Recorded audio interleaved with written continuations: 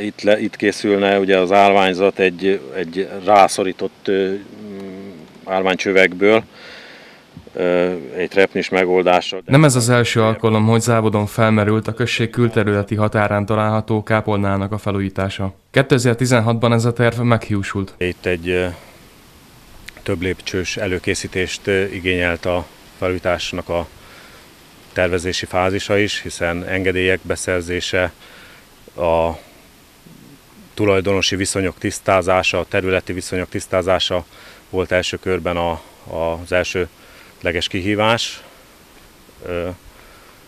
és gyakorlatilag ott megakadt a, a nem került további fázisba már a megvalósítás, hiszen olyan akadályokba ütköztünk, ahol nem tudtuk ezeket a viszonyokat tisztázni, rendezni, és igazság szerint akkora kegyelemdöfést gyakorlatilag az egyik résztvevőnek a, a hozzájárulási szándéka, illetve nem nemleges szándéka gyakorlatilag meghiúsította az akkori elképzelést.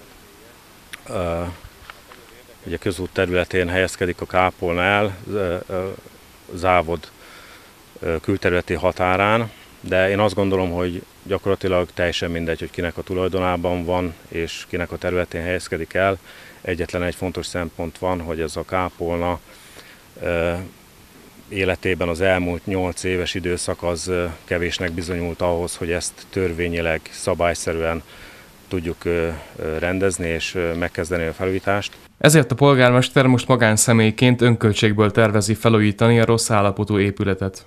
Nekiállok és mindenféle sallangot elhagyva tervezési költséget, kiméretési költséget, műszaki ellenőri díjakat elhagyva neki fogok, és, és gyakorlatilag négy célt tűztem ki, abból kifolyólag, hogy egyrészt tudjon a, az épület megújulni, megmaradni. Ugye látszik, hogy nagyon rossz állapotban van, a felső téglasorok már kimozdultak a helyéről, a tető is hiányos, a cserépfedés is már megrongálódott. Tehát elsődlegesen az lenne a szempont, hogy magát az épületet tudjam helyreállítani, és azon túl szeretném a körülötte lévő területet is rendbe tenni, egy ilyen cölöpös terület stabilizálással megóvni, megvédeni a termőföldet, illetve vissza depózni a földet köréje. Egy nagyon fontos szempont lenne az is, hogy megközelíthető legyen biztonságosan a kápolna, hiszen körülötte a föld már annyira elkopott, eltűnt, hogy gyakorlatilag már a megközelítése is nehézkes és veszélyes. Ez is egy szempont lenne. Nagyon fontos lenne a gázjelzőknek a, a hát ha nem is eltávolítása, de valami esztetikusabbá tétele. László Attila abban bízik, hogy a kezdeményezésében társakra is talál, pénzügyi támogatást azonban nem kér. Anyagi vonzata, ami fölmerül, én azt a költséget azt természetesen vállalom és finanszírozom, de ez mellett, ha valaki úgy gondolja, hogy ebben részt szeretne venni, akár kétkezi munkával, akár ö, ö, anyag ö, ö, hozzájárulással, azt természetesen azt szívesen fogadom.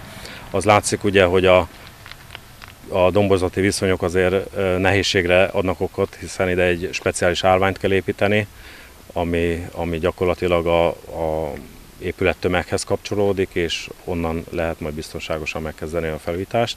Most első körben ugye a, a környező területnek a, a kialakítása, rendezése fog elkezdődni, és amint a, olyan időjárási viszonyok vannak, hogy megkezdődhet a vakolatnak a eltávolítása, illetve az újra vakolása, ugye tudjuk azt, hogy a vakolat azt a nagy hőséget azt nem jól viseli, illetve hát sokkal több odafigyelést igényel, de ha olyan időszak, olyan időjárási körülmény adódik, akkor abba is minél előbb szeretnék belevágni. Az a célom, hogy az ősz folyamán teljesen be tudjon fejeződni a megvalósítása.